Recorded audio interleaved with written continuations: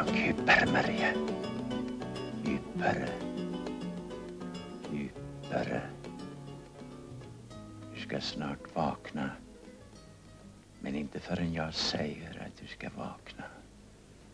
Sjung djupare. Djupare. Välkomna till Medic som ikväll ska handla om hypnos. Och det vi såg här det var en ganska vanlig bild av hypnotisören och hans viljelösa offer, eller hur? Ja, det. Det frågar, frågar jag Bessel Feiner som är narkosläkare och hypnotisör. Eh, den här eh, eh, demoniska hypnotisören som, som får offret att göra eh, vad han vill, stämmer det? Under vissa eh, förhållanden ja, men inte inom sjukvården. Att på estraden, eh, då kan det förekomma, men det är förbjudet i Sverige. Men tyvärr finns det rätt mycket runt om i världen. Men på det här viset, det, det, det syntes på bilden, nej, det, det förekommer inte inom sjukvården i alla fall. Nej. Om man, jag plockade fram min gamla läkarbok här och slog upp hypnos. Eh, och då står det att eh, hypnosen är i själva verket ingenting annat än ett avsiktligt framkallat hysteriskt tillstånd. Så såg man på det 1917. Hur ser man på det idag? Det är någonting an, helt annat. Uh, det är en kombination av en förmåga som varje människa har, som jag vill kalla för uh, att fungera som en automatpilot. Uh, och sen ovanför detta, då finns det olika uh, medvetna styrningar. Och ibland kan man överlämna dessa styrningar till någon annan så att temporärt kan någon annan så att säga styra den medvetna sidan. Men själva automatpiloten fungerar som vanligt. Så det är en kombination av de olika faktorerna och kan förklara hur egentligen hypnos är någonting som händer i relation mellan en så kallad hypnotisör och en så kallad patient. Eller jag skulle vilja kalla det hellre för en lärare och en elev. Mm. Hur, hur använder man det här inom sjukvården idag? Ja, det är olika områden. Man kan säga varje uh, situation där det finns stresskomponenter kan hypnos vara en bra hjälpmedel. Uh, det kan användas till exempel vid uh, olika psykosomatiska sjukdomar. Det kan användas i situationer där det är operation, en förlossning, det kan användas som hjälp mot fobier. Det är olika områden. Gemensamt eh, är att det finns en hög beredskap och hypnos är bra för minskad minska. Mm. Vi ska se på ett exempel på hur man använder hypnos inom sjukvården. På Eastman-institutet i Stockholm så har tandläkaren Björn Enqvist behandlat ett 60-tal av sina patienter med hypnos. Och det här är en grupp patienter som ska gå in stora käkoperationer. Den här killen till exempel, han har ett väldigt besvärligt underbett. Han kan gå in och koppla hans underkäke men också förlänga överkäken. Och så här såg det ut före operationen och så här efter operationen så ser han ut så här. Nu visar det sig att de patienter som hade fått hypnos före och under operation, de klarade operationen mycket bättre och de läkte också snabbare.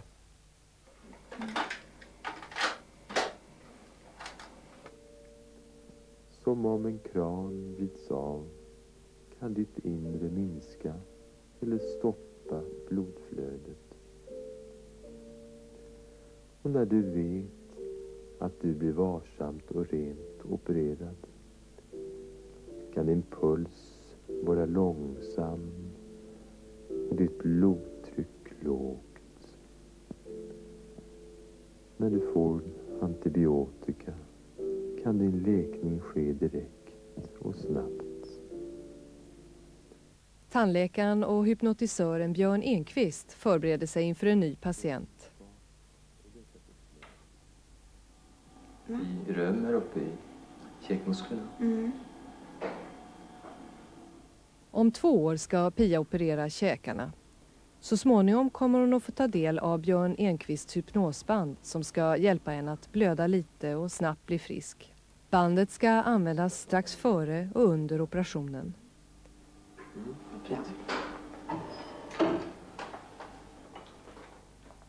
Den här dagen får Pia träffa en redan opererad patient. Då får ni sitta i lugn och ro här i hörnan och bekanta med varandra. Och du Pia får fråga allt du kan hitta på att fråga. Hej. Hej.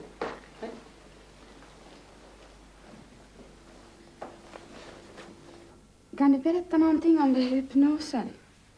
Ja, det gick till så att eh, Björn frågade om jag ville vara med om ett experiment. Mm. Där det gällde att se om man kunde påverka det undermedvetna med hjälp av eh, form av hypnos.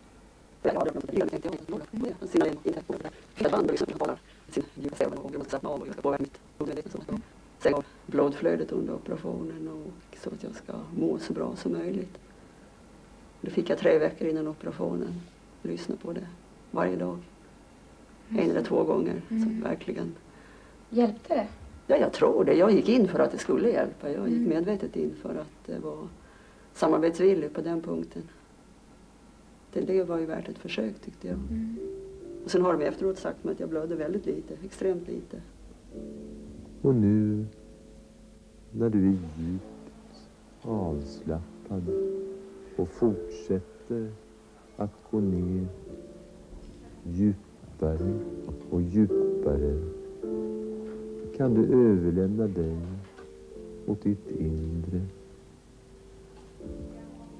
och tillåta att den del av dig som har kontakt med hur dina blodkärl kan dra sig samman i operationen ser till att det blir så torrt det är möjligt. Så att du slipper svullna. Björn Enqvists patienter opereras på Sabbatsbergs sjukhus i Stockholm. Operationen kan ge kraftiga blödningar. Nyligen har 60 patienter undersökts här. Alla har lyssnat till hypnosbandet. Patienterna har jämförts med en kontrollgrupp. Studien som är gjord visar ju att det finns en, en eh, viss skillnad på mellan 3 och 4 deciliters blödning mellan, eh, på genomsnittet mellan de två grupperna. Och då talar vi alltså om patienter som normalt under en sån här operation förlorar mellan 7 och 15 deciliter blod. Och det kan ju möjligen tyckas marginellt men det visar ju trots allt att här föreligger en skillnad och en möjlighet att, att eh, påverka det här genom en suggestion. Alltså att här finns uppenbarligen en kanal in i patientens undermedvetna under operation och under narkos. Om nu de här resultaten håller vad de lovar, att eh, man kan sänka blödningen med 20-25 procent, då är det helt klart rätt viktigt att använda den här metoden. Då kanske vi skulle se om det är dags att ta bort den här nästa gång. Det är. Det är nästan genant att det är så lite som görs av det här. Och jag tycker att det är sån, ska jag säga, uppenbar vinst att göra patienten delaktig i vad som sker i sitt eget mående. Och den här situationen att ligga på ett operationsbord alldeles ensam utan någon röst som pratar. Det är inte så konstigt tycker jag att man får en effekt då om någon är med en under operationen. Att man, bara, att man inte är ett offer utan man görs delaktig. Någon frågar om man kan minska sin blödning och påverka sin rehabilitering i rätt riktning. Och nu, när du är djupt avslappnad och fortsätter att gå ner djupare skulle ni själva kunna tänka er att bli hypnotiserad inför en operation? Ja, det, jag skulle kunna tänka mig att bli det, men eftersom jag vet med mig att jag icke är en speciellt suggererbar människa så vet jag inte om jag personligen tycker att det vore värt att lägga ner mödan på det. Men Ja, jag å andra sidan vet med mig att jag är i viss mån möjlig att suggerera och eh, jag skulle utan vidare ställa upp på det här för jag tror det finns, finns något att hämta ur välbefinnandesynpunkt. Och genom att nu ge ditt inre denna kunskap och dessa förslag kan din kropp styras på ett sätt så att ditt välbefinnande under och efter operationen ökar. På ett djupt plan vet du om att ditt blodtryck och din puls kan vara på en låg Eh, nivå. De här patienterna de fick, får alltså lyssna på ett ljudband även under själva narkosen. Eh, Bessel Feiner, kan man, är man mottaglig för, för någon slags påverkan under själva narkosen?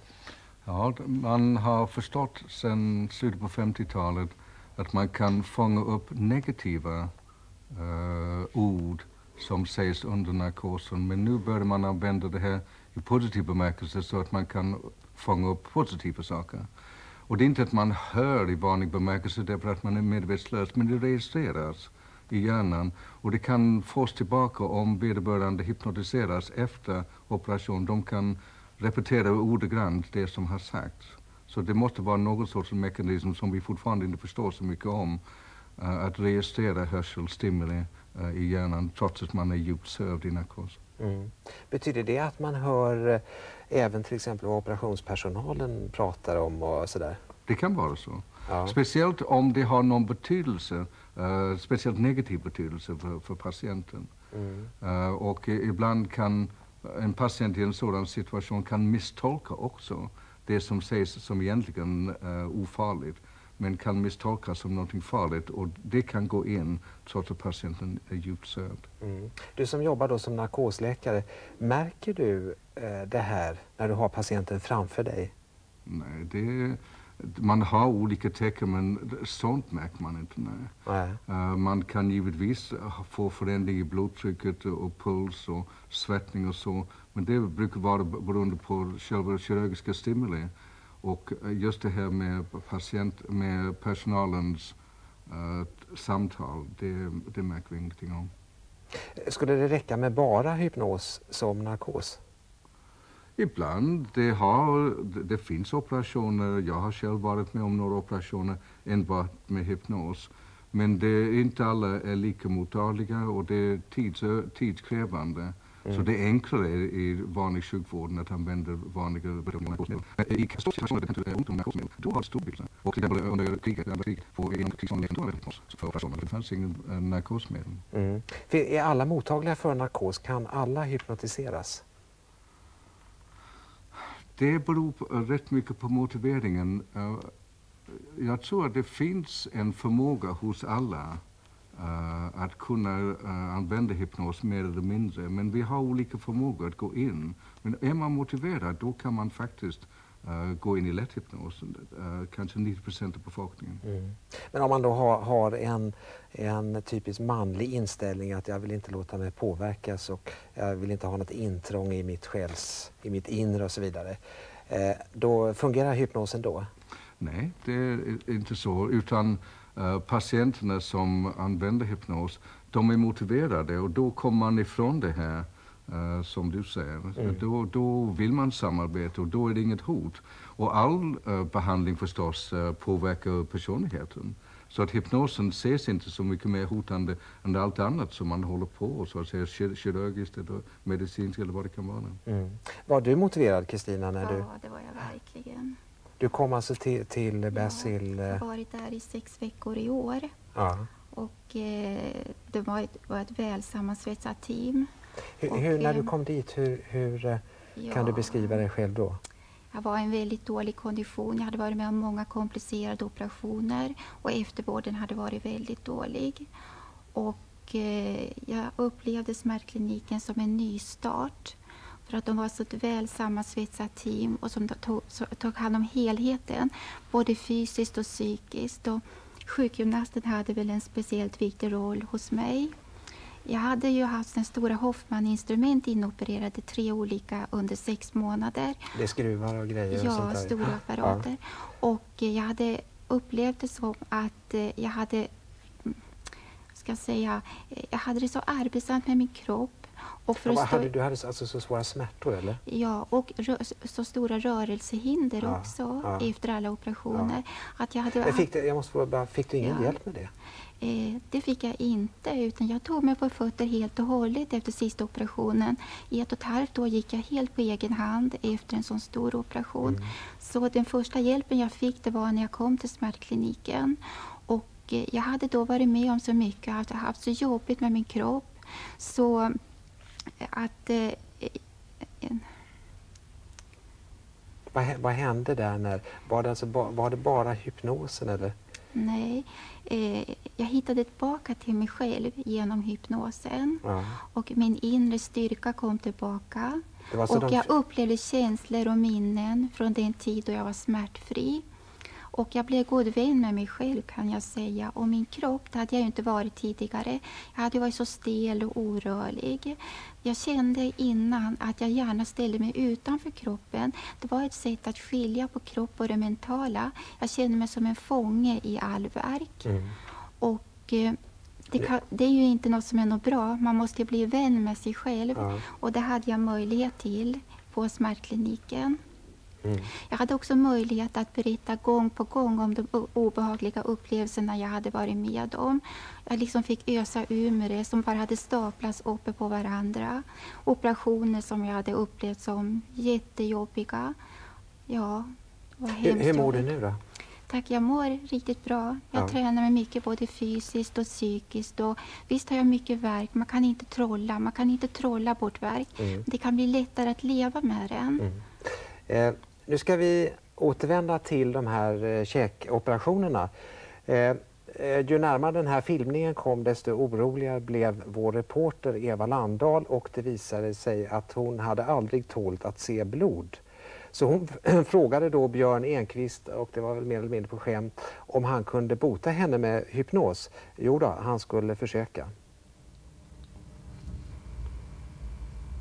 Och när du känner den här känslan av att det nalkas någonting som du inte har kontroll över så kan du stanna upp en kort stund och bara dra ett djupt andetag och, som en signal till dig själv att du hittar resurser inom dig som kan hjälpa dig. Kan du täcka de här bitarna i dig som vill samarbeta, som vill samverka till att du ska få en mera nyanserad och rimlig syn på blod och operationer. Och du kan komma tillbaks till rummet och låta dina två pekfingrar bli som förut. Och ta med dig så mycket av lugn och stillhet och vitalitet som du behöver. Och jag kan räkna från fem till noll.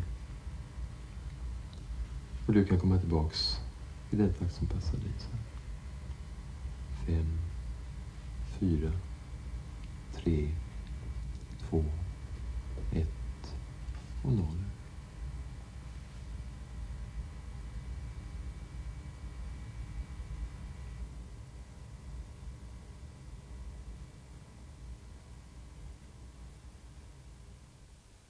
Trodde du på det här egentligen? Eh, nej, det gjorde jag inte. Men eh, jag tänkte att jag, jag har inget att förlora utan jag försöker. Ja. Och så får vi se hur det går. Hur många behandlingar fick du? Två hypnosbehandlingar och eh, jag tror att det var en halvtimme vardera. Ja, har du något minne av vad som hände under de behandlingarna? Ja, ganska diffust. Det, det var ungefär som, som när man ligger och halvsover. Jag, jag kommer ihåg vad som sades men, men det, var, det är rätt diffust. Jag vet att, att Björn pratade mycket om det som jag ville ha hjälp att klara av eh, operationen och också vad det här berodde på, att jag inte kunde se blod, vilket Mm. har varit ett problem för mig. Mm. Och vad det berodde på det vill jag inte prata om, men eh, att ha Och det, någon hjälp... respekterade han det? Ja, det Ja. gjorde han. Men att få hjälp, det vill jag. Mm. Mm. Vi ska se vad som hände sen. Mm. Och här är vi alltså då snart inne i operationssalen. Och där står du. Mm. Jag var oerhört eh, orolig i början Ja. och eh, skakig i benen och mådde illa. Och jag fick faktiskt gå ut en gång under själva operationen. Du håller dig lite i bakgrunden här. Ja, det gör jag.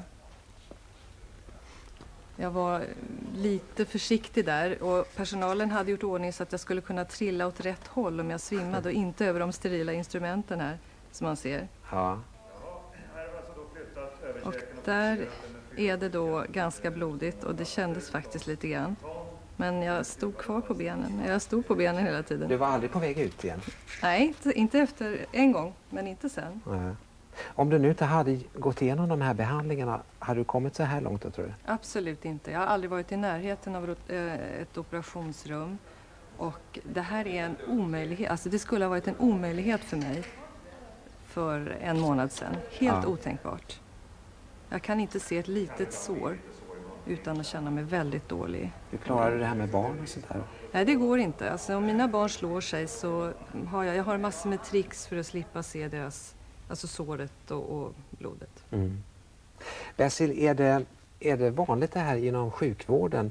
Det här är någon slags mm, enkel fobi eller blodfobi. Är det vanligt? Nej, inte så mycket, men det är rätt många patienter till exempel som har fobi för sprutor och, och spetsar. Mm. Ehm, det är inte så många patienter som, som kommer i kontakt med blod, men däremot blivande läkare förstås. En och annan har svårt. Mm. Vad gör man då? Ja, det är en, precis samma sorts träning som, som Eva pratade om. Och det är också, det går ganska lätt och det kan göra att någon som är rädd att han, han eller hon måste hoppa av medicinsk utbildning kan- stanna kvar och, och utbilda sig. Mm. Vad, eh, när man ser det här så, så är det ju, var finns gränserna? När övergår hypnosen i psykoterapi? När är man inne på meditation? Ehm, antagligen finns det en grundförmåga inom oss alla, både på det kroppsliga och psyk- psykiska planet, att eh, kunna ändra, att bli lugnare och stabilare. Och det kan man uppnå genom meditation. Och psykoterapi är på sätt och vis en tillämpning av de här förmågorna genom någon terapeut som är utbildad. Så man kan också tala om hypnoterapi som en sorts psykoterapi. Mm. Där man använder psykoterapi genom att man använder hypnosmetoder. Men det är en del av en, en större sammanhang. Vi ska träffa Ingrid Karlgren som eh, har kommit lite längre i det här med hypnos och du sysslar med självhypnos. Ja. Hur går det till? Eh, först har jag lärt mig det hos en hypnotiker kan man säga. Mm. Och Låg, det, låg du i hypnos här förresten? ja, ett bra tag. Ja. Jag, var, jag vet inte hur länge jag, han väckte mig. Mm. Men jag hörde någon som räknade från fem till noll och då vaknade jag egentligen av mig själv. Mm. Men räknar du ner dig själv så att säga? Ja, det gör jag. Ja. Är det någon skillnad på den, den eh, hypnosen och den du får då av en, av en lärare? Ja, det är väldigt stor skillnad. Eh, det som händer när jag får hypnos av min läkare Christer Ut i Luleå, det är att eh, han kan ta ner mig så djupt så att jag har minnen från ettårsåldern och uppåt. Och då har jag lärt mig att skilja på ehm, det som eh, den föregående gästen, jag kommer inte ihåg vad hon heter nu, Kristina? Kristina Ja. berättade att ehm, man, fysisk smärta väcker all annan smärta, alla andra minnen av smärta. Mm. Så till slut blir smärtan en enda stor kaka som ehm, präglar hela ens liv och man, svår, man får en smärtidentitet istället för en frisk identitet. Hur, hur länge har du levt med, med den här smärt, smärtidentiteten? Ja, när började jag egentligen? Jag vet inte, jag kan väl säga att det började i samband med att jag hade fått då mitt eh, fjärde barn för fem år sedan. Mm. Och jag inte kunde gå längre. Och jag gav upp på något sätt. Jag trodde att det skulle gå över men det gick aldrig över och till slut tappade jag hoppet. Sen har jag också liksom henne gått igenom en sån här stor operation. Och då hade jag verkligen behövt ha hypnosen. Mm. För nu eh, i det här skedet så har jag kvar smärtor i ländryggen som är ganska svåra. Men eh, tack vare hypnosen kan jag skilja på vad som är ryggen och jag kan också som hon kliva ut ur mig själv en stund. Jag går ner fem, sex gånger om dagen i en egen eh, träning. Mm. Och eh, då har man ett par timmar på sig som man inte behöver då ta mediciner istället. Utan du klarar dig då tack Ja, vare hypnosen? Jag rör mig mycket fortare och det, det är mycket roligare. Jag känner, jag känner mig inte sjuk längre Mm. överhuvudtaget. Jag är handikappad men inte sjuk. Mm. Är det här, du har, alltså, du har, har du bytt identitet? Ja, det kan man säga. Och det, var, det hände egentligen för två, ett par veckor sedan. hände det då. Jag var hos honom. Och vi hade tydligen en väldigt lång session. Och det kom upp två bilder. Han frågade mig eh, vad min friska sida hade för färg. Mm. Och då sa jag att den var blågrön och liknade ett träd. Och den andra sidan, då, den negativa sidan, den som var smärta och tyngd och, och skuld.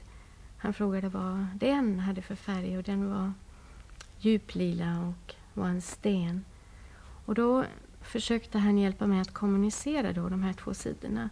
Och Mm. till slut när jag vaknade upp så hade jag händerna så här fastklamrade. Och då hade jag på något sätt integrerat det här Mm. och kände mig som ett. Mm. Och det var inte negativt. Och under den, eh, det samtalet eller den, eh, den hypnosen så eh, kunde man till och med uppleva att det fanns positiva sidor hos den här stenen. Mm. Eller vad kan jag kalla det för? Att den har gett mitt liv en tyngd och en erfarenhet som jag inte vill vara utan. Mm. Det här skulle behövt eh, långt tidigare. Ja, absolut. Vi ska lämna det här mycket individuella självhypnosen och gå över till raka motsatsen massuggestion. Eh, det finns i Sovjet en psykoterapeut och läkare som heter Anatolij Kasperovsky och han använder sig då av ett medium som kan vara ganska sövande i sig, nämligen tv-mediet. Han har nästan varje dag sådana här stora seanser inför en jättepublik i salongen och han har en miljonpublik eh, eh, bland sina tittare. Och han eh, lovar att han kan hjälpa dem med allt från sängvätning till cancer. Och det påstås till och med att han har eh, hypnotiserat folk som vill bli opererade utan bedövning. Bantning, det åtar han sig gärna. Här kommer då en dam som har gått ner 84 kilo, säger hon. Och hon har med sig då sin gamla klänning för att visa då skillnaden mellan hur hon ser ut idag och hur hon en gång i tiden såg ut.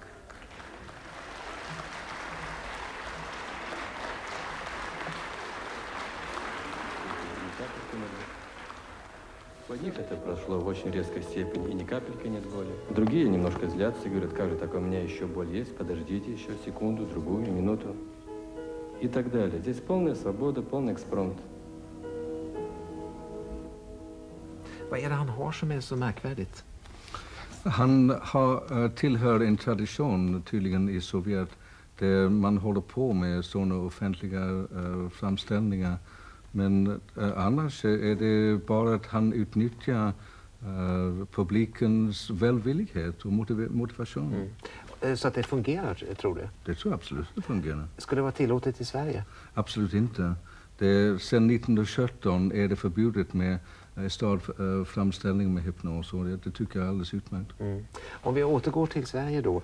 Var, var kan man få hypnos inom svensk sjukvård idag? Det finns över tusen uh, kollegor inom sjukvården som har gått hypnosutbildning. Mm. Och de håller på på, på sitt, var sitt håll. Men det är inte alla som använder hypnos i praktiken. Så man kan i princip ringa sjukvårdsupplysningen? Man kan, eller kanske det är bättre att ringa till eh, ett central eh, kansli eh, inom hypnosföreningen och fråga. Här är Medic slut för ikväll. Vi ses igen